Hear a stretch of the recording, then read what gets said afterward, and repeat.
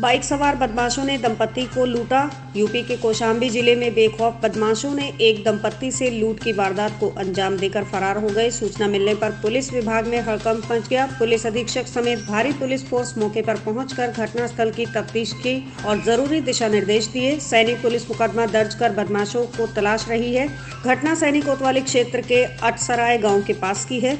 काजीपुर पथरावा गाँव के रहने वाले मुन्नालाल विश्वकर्मा अपनी पत्नी के साथ प्रयागराज शहर के मुडेरा में रिश्तेदार लाली विश्वकर्मा के यहाँ शादी समारोह में शामिल होकर वापस लौट रहा था। वो जैसे ही अटसराय गाँव के पास पहुँचे, तभी पीछे से बाइक सवार तीन बदमाश आए और अवैध तमंचे के दम पर उनका बैग, मोबाइल और जेब में रखा बारह सौ रूपए छीन लिए। बैग में पत्नी के जेवर और अस्सी हज़ार रूपए थे। लूट का विरोध करने पर मुन्ना लाल और उसकी पत्नी को बदमाशों ने मारा पीटा। बदमाशों के खौफ से पत्नी बेहोश हो गई, पर वारदात को अंजाम देकर बदमाश मौके से फरार हो गए। इसकी सूचना पीड़ित ने सैनिक पुलिस को दी। लूट की जानकारी मिलते ही पुलिस विभाग में हड़कंप मच गया। एसपी अभिनंदन, सीओ सर्किल व सैनिक कोतवाल घटनास्थल पर पहुंचकर बारीकी से तफ्तीश की। पुलिस अधीक्षक ने बदमाशों को पकड़ने के लिए कई टीमों का गठन किया है और जल्द ही इसका खुलासा करने की बात कही। इलाहाबाद अपने घर को आ रहा था और और उस के बीच में मेरे, मेरी चोरी हो गई है। मेरे सारा सामान सब बैग है।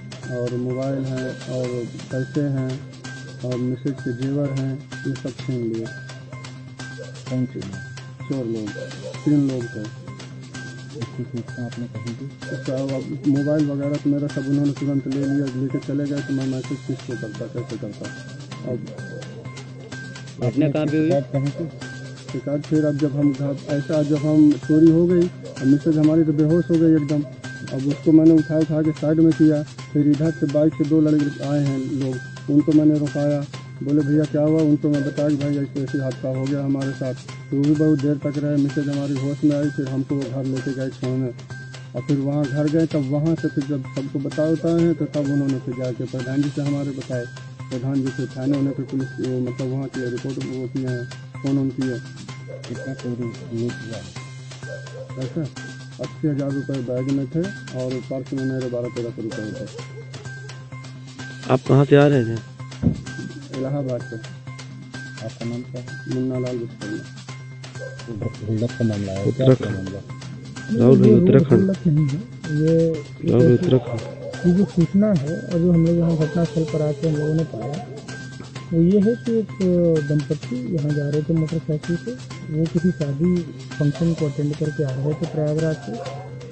और कुछ लोग जो रास्ते में उनको फॉलो कर रहे थे, उन्होंने यहाँ पर इनके सुनसान जगह देख कर उनको रोका और इनके पास जो बैग है, वो छीन लिया और उसके बाद वो भाग गया उन्होंने पुलिस को लेट से सूचना दी, डेढ़ दो घंटा लेट से सूचना दी। जैसे ही सूचना मिली, सभी लोग यहाँ मौके पर आ गए हैं, सभी अधिकारी लोग और थाने की पुलिस पूरी आ गई है हम लोगों ने इस घटना का अनावरण करने के लिए कई टीमों को लगाया है। जल्दी ही इसका